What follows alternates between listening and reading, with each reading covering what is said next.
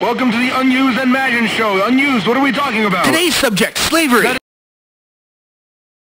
is incorrect. That is very edgy, and that's someone else's joke. We don't steal jokes here. Unused, what the hell is wrong with you? I'm going to be completely honest with you, mate. I thought it was going to be funny. That is another stolen joke, but I'll let it pass since it's a joke that was made on this channel a long, long time ago that no one's going to remember.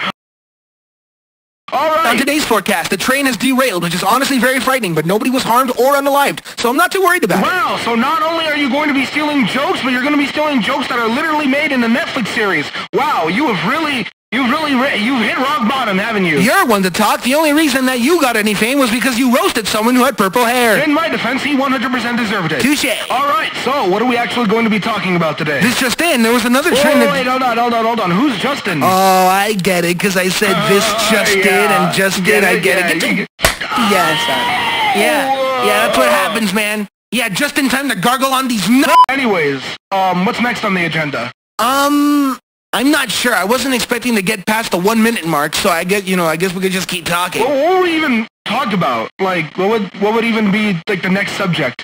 We could talk about slavery. Man, why are you so adamant? All right, um, what do we have next? We could talk about ocean pollution. Oh, no, I'm sorry. I'm Get sorry.